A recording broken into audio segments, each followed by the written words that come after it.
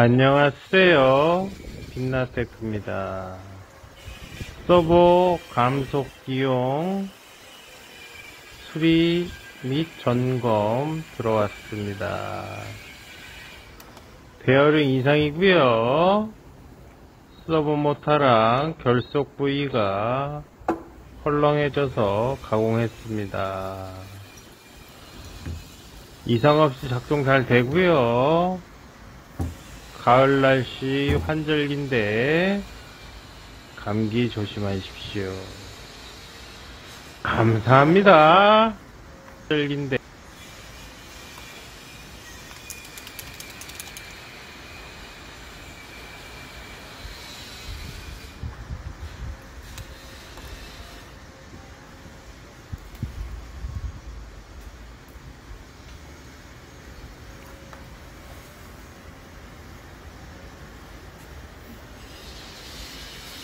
スト